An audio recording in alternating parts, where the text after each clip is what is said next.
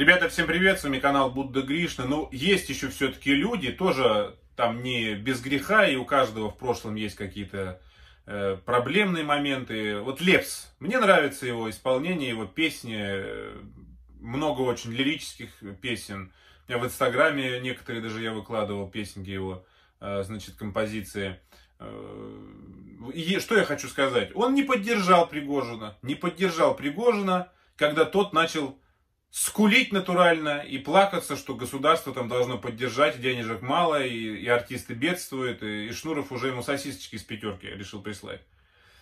Э, бедные артисты, боже мой, Лепс Пригожина не поддержал. Ну, я считаю, нормальный мужик и правильно сделал, что не поддержал. Потому что э, сколько мы видели, еще раз повторюсь, программ, где они жируют там, скандал вокруг высказывания Иосифа Пригожина о чудовищном положении артистов во время пандемии коронавируса набирает обороты. Как оказалось, с продюсером э, значит, несогласные коллеги по цеху. Григорий Лепс, к примеру, сообщил, что философски относится к новым условиям жизни, продолжает восстанавливать голос, записывать музыку работать на студии. Самоизоляция, он говорит, это испытание, но гораздо более легкое, чем те, которые переживали люди ранее. Войну, холод и реальный голод.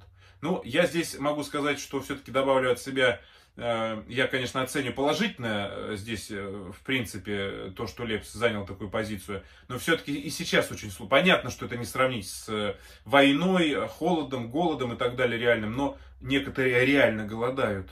И для них это такой же мрак и такой же страх, как и война и блокада Ленинграда, понимаете, и это также такой же голод. У человека нет денег, например, чтобы купить продукты питания. А в целом, конечно, позиция очень правильная. Что говорит Лепс? Ну, бедные артисты, говорит, прям, боже мой, голодают они. Что мы с вами тогда можем сказать вообще о простых людях? Приводит э, слова Лепса лента.ру. Абсолютно верно, абсолютно верно. Если уж вы начинаете скулить, что тогда вы скажете об обычных людях, у которых зарплата 15 тысяч рублей, которые они не увидели, не получают уже хрен знает сколько. Значит, э, ну вот, в принципе, все. Я хотел просто Э, сказать, что э, не все, не все в шоу-бизнесе поддерживают вот эту вот, э, вот эту вот сейчас мысль, высказанную Пригожиным. И я очень рад, что Лепс оказался в числе тех, кто открыто, открыто осудил Пригожина и его высказывание.